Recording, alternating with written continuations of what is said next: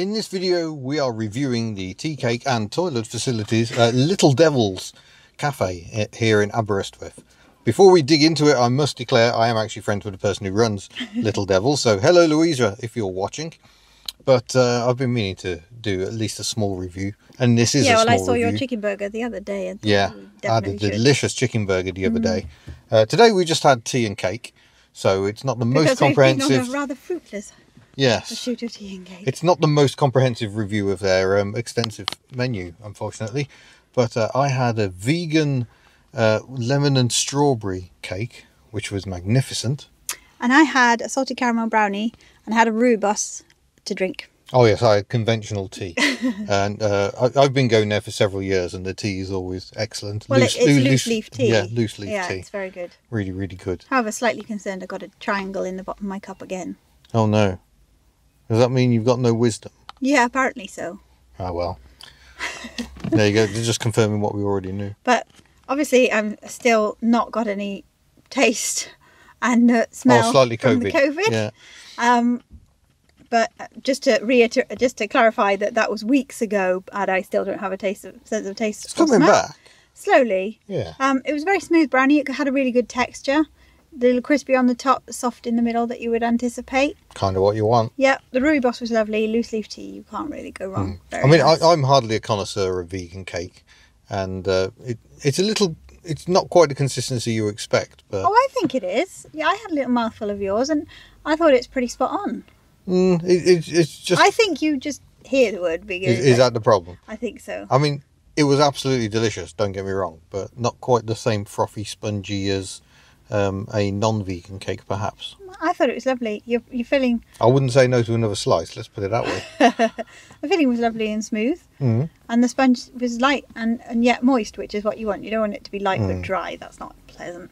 Um, the menu is pretty comprehensive there, isn't it? Oh yeah, Really yeah, good a, it's a breakfast stuff. student favourite as well. Yeah. Well, so I, I would t- anticipate. tend that. to be a lot of calories to the pound. Yeah, I I would would, I would anticipate that because it's got things like chicken and waffles, but also seitan and waffles. So you could have um, a vegan option for chicken and waffles, Mm. um, pancakes with all various toppings. They do uh, specialist milkshakes as well, all of Rocher and that kind yeah. of stuff. I think I've had smoothies there before as well, which are very good.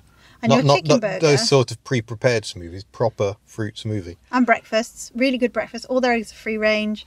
Uh, they're locally sourced. I think the milk yeah, is locally meat sourced. meats locally well. sourced too. Um, so it's very good, in the breakfasts um, look very good. We'll have to go back and, and try some more things. Yeah, and I'm sure we Toilet facilities. Oh, here we go. So the toilet is actually outside, um, just across a little courtyard. A proper tŷ bach, Yeah, as they but it's not what you would anticipate of like an outdoor privy. It's very clean and very fresh, um, and all your soap and toilet Mhm. roll, etc., were present. So yeah, it was a it was a, a good toilet experience. A good toilet experience. Yes, yeah. yes. So there we go. So we're slightly off the road here. I know we're trying to do ones that are along like the A470. yeah, we, or, we've parked in the car park near Lidl and the But- bus station. Yes, but this is just just off the road. If you come into Aberystwyth, what's the road called? Is on Uh, it's a 487, no, the main Yanana, road. What? not the Aberystwyth. I, I can't remember what that road's called. We will put a little thing.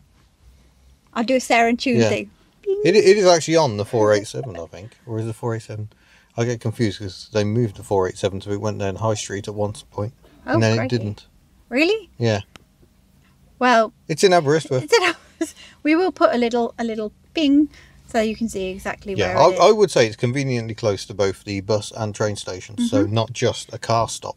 Yeah, Mm. yeah, yeah. Absolutely. You could you could stop in any which way you're travelling, but also the service um, was good. They were friendly. They were polite. Mm-hmm. Um, just clarifying, checking back, all that kind of stuff. So that was good as well. Yeah, so um, thank you, Little Devils, for your tasty treats. Uh, we better get home now. Yes, not going to Yeah. uh, certain golden arches. Indeed. Don't tell the hublets Yeah, we were near a McDonald's. We're in Aberystwyth. Don't tell them. Yeah. Right. we shall head off. Thank you for watching, and we'll see you in another grub nut. Bye. Bye.